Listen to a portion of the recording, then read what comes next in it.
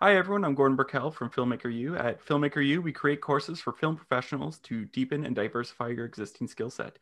Every Friday, we release a live film chat with a professional to discuss their, their approach to their work. Uh, today, I'm joined by Glenn, uh, Glenn, sorry, Glenfield Payne, uh, the sound designer for Venture Brothers, Beasts of No Nation, Master of None, and so much more. Uh, hi, Glenfield. Uh, welcome to Filmmaker U. Hi, thanks for having me.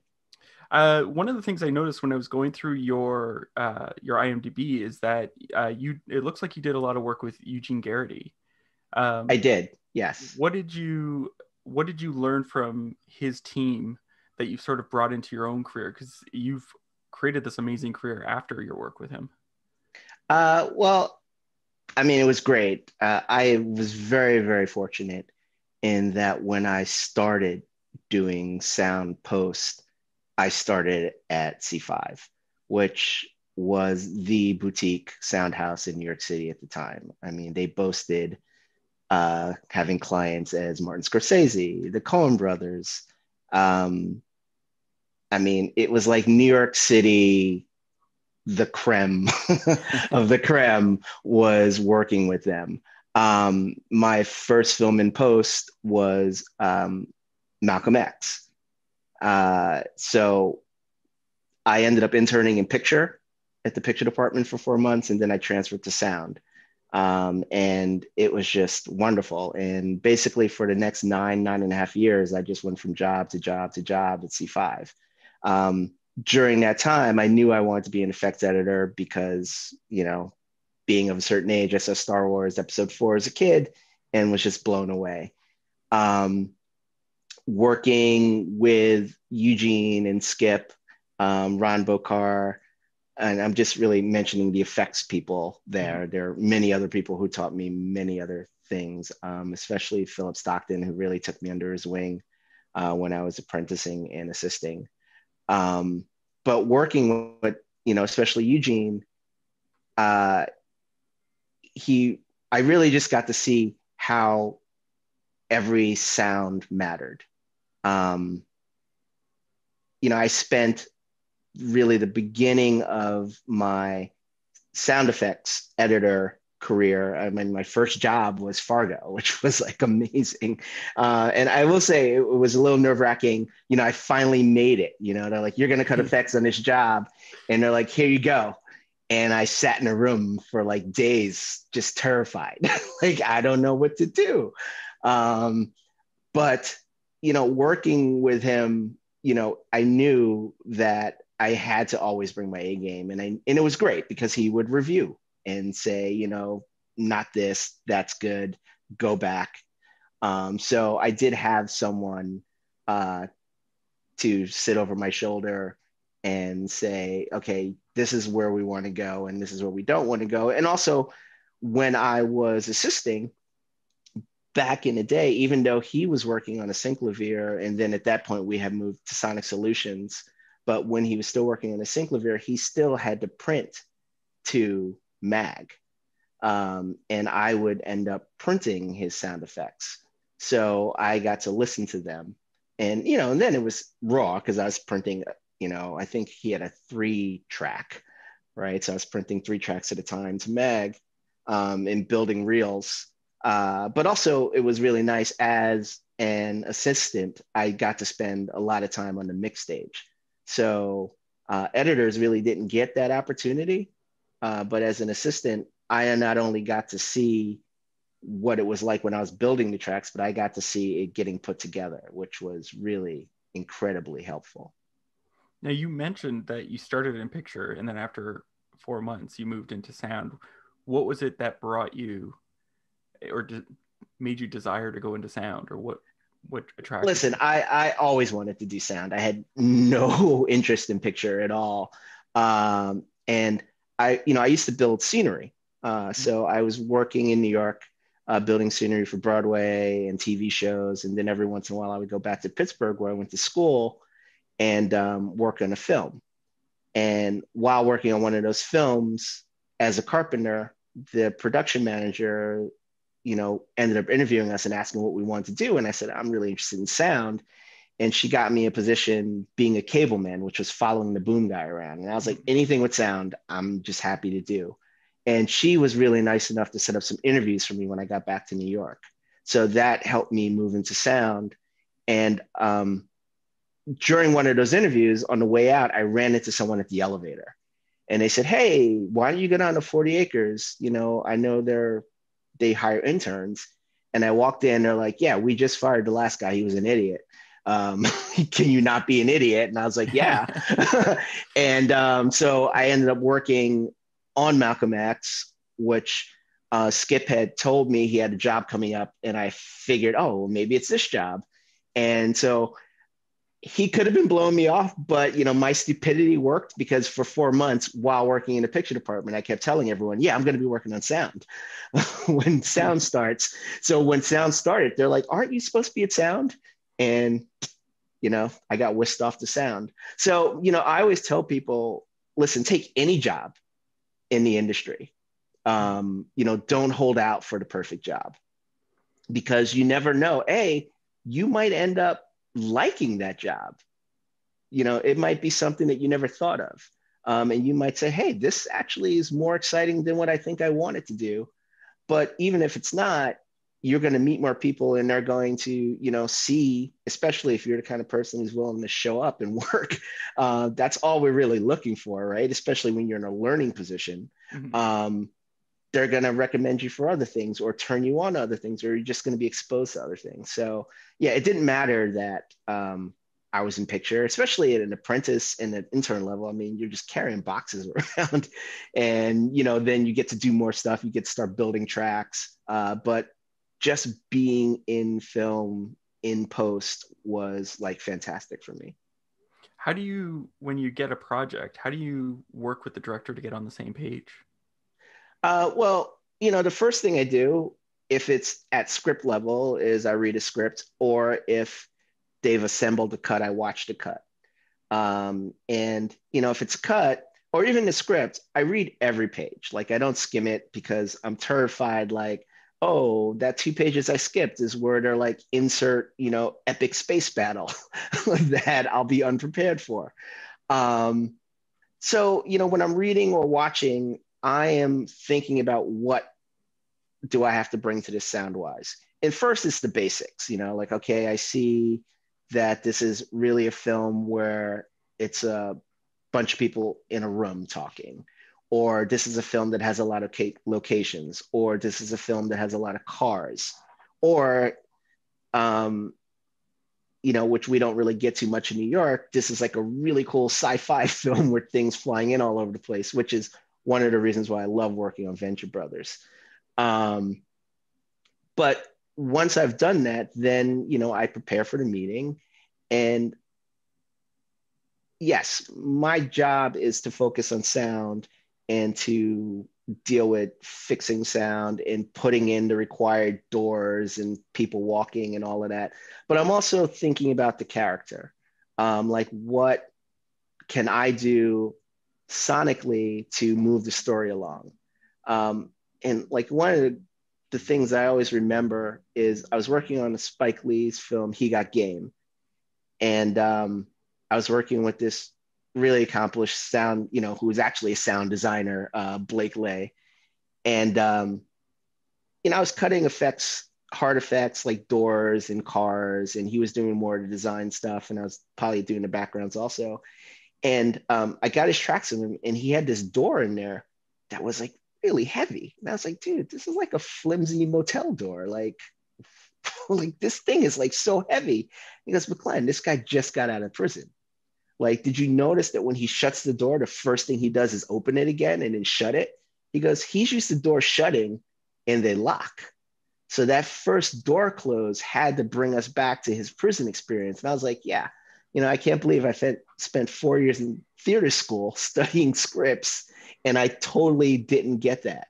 So, you know, I always take that with me when I'm reading a script. Like, I got to drill down past just what's on the page and think about what this means to the characters and how I can convey that to the audience with sound. Was there, because you mentioned Venture Brothers, and I'm always fascinated, like, I I love working on cartoons because I find that there's almost this weird freedom in working on. it. Was there a huge freedom with sound in? in well, well sure. I mean, you know, with with narratives and with um, well, not even narratives, docs, whatever. With live action, we're always battling production sound. I mean, mm-hmm. it's very helpful, but you know, there's usually like a lot of noise, you know, which we've are able to get rid of so much. But you know, there are things we have to match. Um, it's realistic. Uh, with the Venture Brothers, it's cartoons, so all of the voices are recorded in a booth, uh, so they're clean. So we do have to build everything, but that allows us a, ton of freedom uh, because we're not fighting uh, real world sounds that we have to match or minimize or um, you just find some way to work in what, what we have. We get to just build from a clean slate uh, and it's it's great. And then with something like the venture brothers where you can have two people talking to in a room to like a you know spaceship zooming in to a robot army to mechanical butterflies it's just fantastic. You you mentioned battling set in or like the audio from set mm-hmm. um how do you determine what's usable and what's not? I mean there will be certain ones where it's like it's obvious it's not usable because this is like shot in a water tank or something.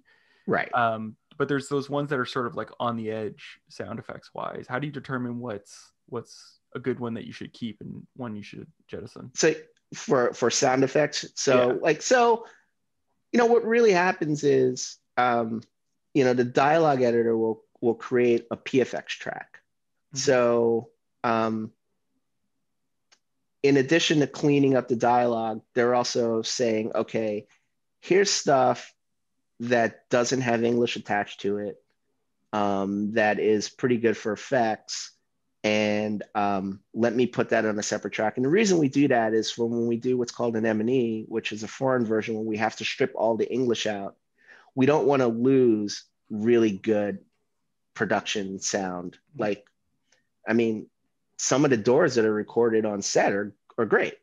Um, now we'll enhance them, but there's no reason we should get rid of them. You know, they might have the right character. They might actually be a real door, not a flimsy door that was just built. Um, I mean, you know, and I think especially more and more, uh, maybe with a lot of the TV stuff that I've been doing lately, uh, they're using real world sets sometimes. So sometimes it, it is an actually really good door. Um, so I'll sometimes say to my dialogue editor, hey, why don't you send me your PFX track? Um, so I can cut against that. And one reason I want to cut against that is I want to know that the effects that I'm putting are in sync. So at the mix, I'm not slipping things because a lot of times you'll end up with like two door closes because they're just a little bit off like where I thought it was and where the production was. And if I'm cutting against the guide track, the dialogue editor might have said, you know what, that doesn't look right. Let me line something up. So I try to get that from the dialogue editor so that my effects and Foley can match what we have. Um, sometimes, you know, it depends on the budget. If we have the time and we can cull through the effect, the uh, production audio and pull out really good effects, we will.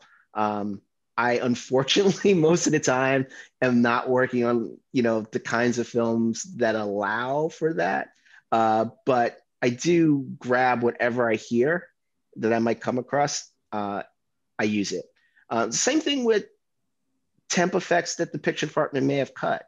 Um, sometimes we feed them to them if it's a film and they ask for stuff ahead of time. Sometimes they come up with stuff on their own. Um, I don't take this attitude that it has everything has to have my stamp on it. Um, if it's good, why not use it as a base? Sometimes it's perfect. I don't even have to change it. But I'm pretty much putting something on top of everything. What now? What would you say is a scene from your career that you're most proud of? That you're and and what is it about that that sound work that makes you proud of it? Um, well, I, I think it's probably two. One is going to be Venture Brothers. um, there's uh, this one episode, I, I'm trying to remember. I don't remember the name of the episode, but this this episode was was really large. It's normally we get a week to do the effects for the episode, and this one, uh, we put two editors on and we split it up. Uh, this other editor who works on it, Damian Volpe, um, and uh, he took the second half and I took the first half. And in my half, there was this crazy. Uh, it starts with like a shootout, and then a car getting riddled. Oh, then a jet takes off. then a car gets riddled with bullets. Then there's a motorcycle chasing a car through traffic. Um, you know, and then of course it's a spy car, right? So there's you know guns that come out of the lights, and there's gas slicks that come out of the back, and then you know a fire trail. It's it was just amazing. The you know, probably like around trying to grab all the. Well, you know that's the other thing now, um, which is why I, I kind of started doing moving into mixing too. Is that I'm mixing mm-hmm. as I'm editing. Um, I mean, one of the amazing things, um, you know, I Pro Tools is the third digital audio workstation uh, that I'm working with. Um, and I remember moving to it kicking and screaming. Um, you know, I really loved Audio Vision. Um, and before that, I had really loved Sonic Solutions. Uh, but with Audio Vision, I actually got digital picture like that I was watching all the time. With Sonic Solutions, I was running off of a three quarter inch deck. So I would kind of watch a scene, especially when I was doing backgrounds back then, and I'd mark my in and out points, and then I'd build the backgrounds without seeing the picture constantly, and then I'd play it back and make adjustments. Uh, then Audio Vision came along, and I had digital picture, and it had a really wonderful bin structure. Um, and then Pro Tools came along, and it had the same, but it wasn't as great as Audio Vision. But then, with the advent of just more computer power, I really started getting able to uh, use automation. So instead of like just kind of setting a pan or setting a volume, I was able to ride that stuff. I was able to move sounds around the space. So all of a sudden it really opened up. Like instead of like sending something to the mix and having the mixer decide how it was going to be and you know listening being like well i think you kind of missed that and again, I wasn't able to go to the mix most of the time. So it was like just based on what I would write on my cue sheets that no one would really look at anyway. Um, now I'm able to make these decisions, but they're virtual. So I'm not locking the mixer into them. Um, and now that our rooms, we have tuned rooms, I'm actually able to go back to work at some point in my studio. Uh, you know, our edit rooms are tuned. So when we hit the stage, it's not radically different. So in my room, I'm mixing uh, so that when it does get to the mixer, um, if it's not me, if it's someone else, it's not like they're like, oh my God, how do I pull all this stuff together? I've gotten to most of the way there. And then, of course, they're making changes because they're listening to music and the real dialogue and uh, more Foley. Um, it's yeah it's it's not like a complete mess. It's still a lot of work but it's not crazy. Sorry i want to jump back because you were telling sure. me about all the different things from the venture brothers episode. What was it that made it um your favorite or one because you mentioned there was two things and the venture brothers was your first one. Um it was just it was it was a a hard week you know it was it was a lot to get through and like every time i would play the scene, I was like, okay, yeah. Oh, I should really do something for that. Oh, well, yeah, okay. Well, the motorcycle hits, you know, not only should it hit, but I should a little crunch. Oh, wow, he's shooting a car. Wouldn't it be really cool if we heard, you know, the sound of the glass smashing, you know, when the side view mirror gets hit? Oh, he shoots back. I should really hit that tire, you know, flat tire sound. So like every time I went through, I was adding more and more and more. And then when I finally was like, okay, this is done, it felt so good. And I felt like I had everything. Um, and it wasn't just that I ran out of time. Like I actually at this instant felt like, yeah, this is really it. This is like something that's so good. Um, and that was many years ago. And, you know, Lee, I, I like to think that my editing is leaps and bounds beyond that, but it's still something I look back at the time and I've like, yeah, I felt really good about that. What was um, the other? What was the other one? Um, Beast of No Nation. Um, now you know I always feel a little strange about it because it's a film that I ended up taking over. I didn't do it from the beginning. So there was a lot of sound work done, but then my crew and I came on and we really added to it.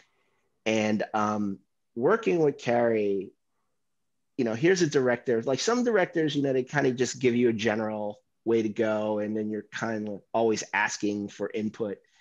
Cary was like not that guy. He was like very specific. Um, and and I, I remember we had a scene where um, the lead runs into the jungle. His he's seen his family get murdered, and he runs and he wakes up the next day and he's walking around, and then this firefight breaks out around him, and you know we had all these bullets and arrows whizzing by and all this crazy stuff, and then Cary was just like, "That's just way too much," and we he's like, "Okay, let's take everything out."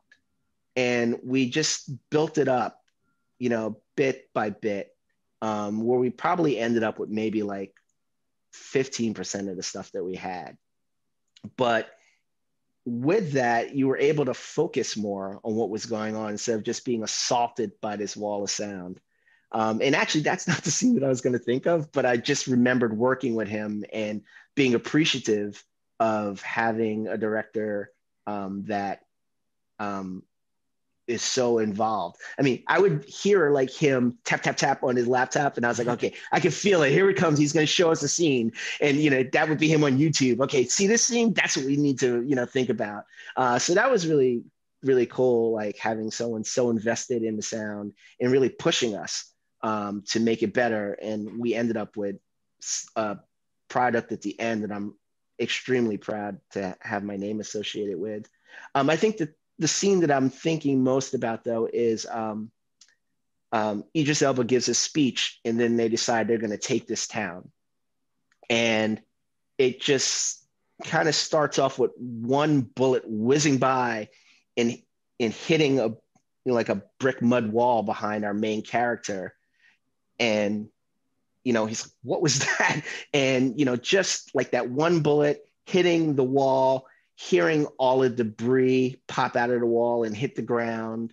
And then we moved into them marching across this bridge and taking this town and the gun battle and you know more really large caliber bullets like hitting walls and really feeling them chunk out the bits of wall grenades going off um, and then at the end they um, they've won, right? They've taken this town and they're celebrating and they're all like dancing.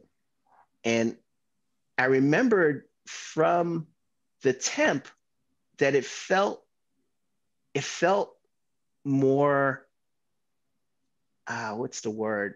I, I just felt something more in with the temp. And at that point, you know, we were like way over. It was a Saturday, you know, we weren't supposed to be there um, were exhausted. And I was just alone in a room with, with Cary. And I was like, you know, I'm really hesitant to say this because I don't know what the solution is yet. But, you know, I'll, I can't let this go. I said, I feel like whatever we've done here, we've, we've lost some emotion from where we were before. And I just, you know, I'm like kind of, you know, saying what I've done is wrong here, but I feel like we need to find a way to go back and get that emotion and, you know, when everyone walked back in the room, you know, he's like, okay, we got to go back into the scene. And, you know, that was kind of the day that I felt like, okay, now is the day I've become a supervisor.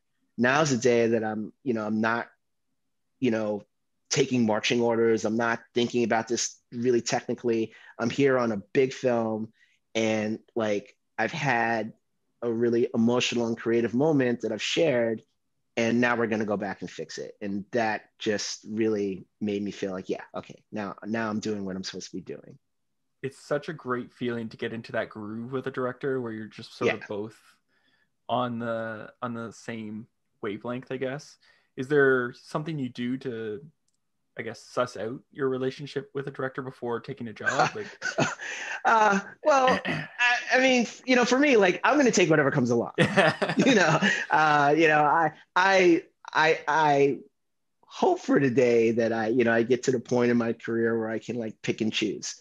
Um, you know, I, I've got two teenagers. Uh, you know, one who just started college and one who's gonna be going off next year. So Papa's got to pay bills. Um, but, but um, it, you know, I, you know, it, it is it is difficult, right? Because you don't want to be, you know, afraid to talk to them, but at the same time, you know, you you don't want to offend people, so you you know, you just gotta know how to talk to people. You know, you gotta be a little bit of a therapist. Um, so, you know, you spend time. You know, you have a spotting session and then you're maybe talking while you're doing the edit maybe sending stuff over maybe like you know i'm doing something you know can i bring this over to your edit room? Or even better can you come over and take a look at it here so you can hear it better? Because i want to like make a decision about this before we go to the mix.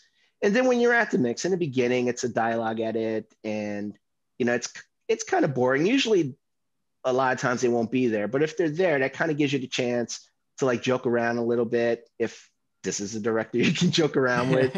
Um, and like kind of form you know a little bond and you know hopefully get them to trust you. Um, and then also i always say the first day you know that first reel you have to nail it because that sets the tone. If the first reel is like a problem then everything you do after that is going to be suspect right? So you really have to like come in, and it's not that the other reels aren't going to be good, but you've got to put your best foot forward from the beginning because once people lose confidence in you, it's probably impossible to get that back. Um, so you know, you you really knock it out of the park in the beginning, and then that just kind of sets the mood. Like, listen, I know this is your baby; it's not mine. You know, I, I feel really strongly about it, but this is yours, and I'm here to serve your vision and I'm here to you know bring my expertise to that and sometimes say to you maybe let's think about this. And you know as you do that more and more um, you you build that relationship where you get to the point where you can say something's not right. And it's hard to say something's not right and i don't know how to fix it you know? But you know but you know it is a collaborative process. And sometimes you know they'll have an answer for you or sometimes someone else in the room will have an answer for you. And i you know when i sit there and i'm working with if i'm like i'm usually not the only mixer. Mm-hmm. um sometimes i'm not mixing at all. Uh, but i like to work with mixers that are collaborative not like this is my mix um, you know, I like to work with people that are like, you know, we're all here as a team. I mean, definitely the lead mixer is leading it, you know, mm-hmm. like, and that's usually the dialogue or um, dialogue music editor. They're they're the ones who are doing the heavy lifting. You know, I've pre-mixed the effects in my room as I've been editing, so like I'm really just kind of touching things up. Uh, so I know they're doing the heavy lifting. Uh, but you know, we should all be lending our ears you know, even if there's an assistant sitting in a room or an apprentice sitting in a room and they they hear something, you know, I think back to my days when I was an assistant and apprentice, you know, I'd, I'd write a note and slip it to the supervisor so that, you know, because I didn't want to be out of place, you know, but I was like, hey, you know, just, I saw something here. You might want to check that out. Um, and I think it was appreciated and I appreciate that. Um, so yeah, we're all there serving the same purpose, which is to get something out there what the audience thinks we didn't do anything, right? So basically, the audience thinks it's all recorded on set, it's all real, and they're like, "What did you guys do?" And then we know we've done a good job. Now you mentioned that your kids are going off to college. Are they going to follow in your footsteps? And God no. uh, yeah, no. My my daughter's a freshman, uh, so you know if we were lucky, she is in a small college in Massachusetts, and uh, they did really good until Halloween, and then some of the kids got stupid, and the number spiked, and then they came uh-huh. home.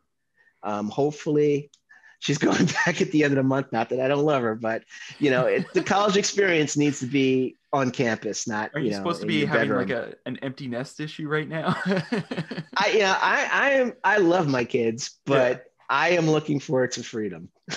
um, uh, uh, yeah, I mean, you know, I, am looking forward to them getting on with their lives. Mm-hmm. Uh, you know, there was a time when my daughter wanted to be an actress, and I was like, oh god.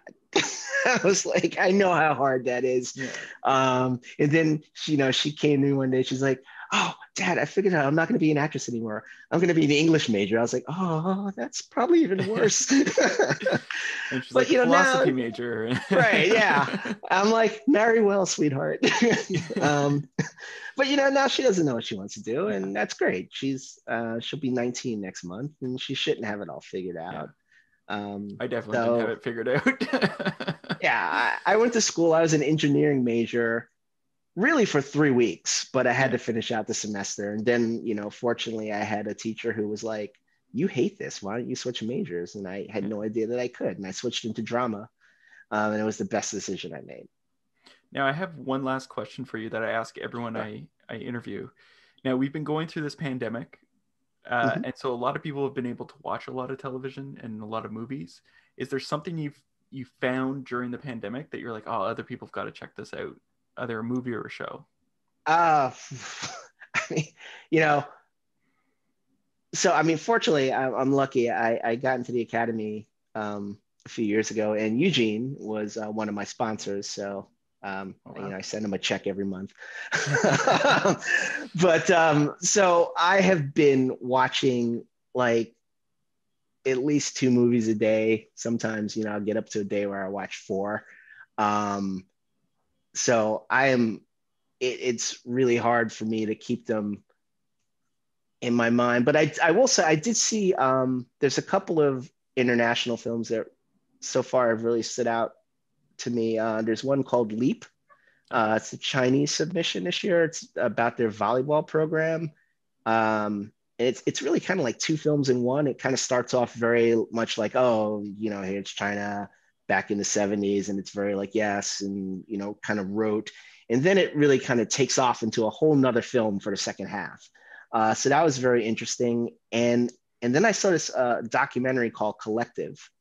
Um, I think it's Romanian, um, it's about a fire that happened in a club in Romania, and all these, you know, I think like 20 or like 13 or 20 kids died during the fire, and then many more ended up dying in hospitals due to infection afterwards.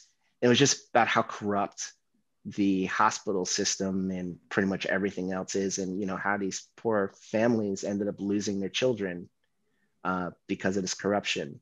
Yeah. And uh, one of the things I noticed about that documentary was there was very little music in it. Um, and it was, they were just really telling this story um, with the dialogue and, you know, I'm sure, you know, the sound effects that just support that. Um, yeah, so I would say those two are the ones that stick out to me right now. Well, thank you so much for letting us interview today. Oh, uh, you're welcome and uh, enjoy more of your films for pandemic and enjoy doing more sound design. All right. Thank you very much. So nice Thanks. to meet you. Have a good one. You too. Bye.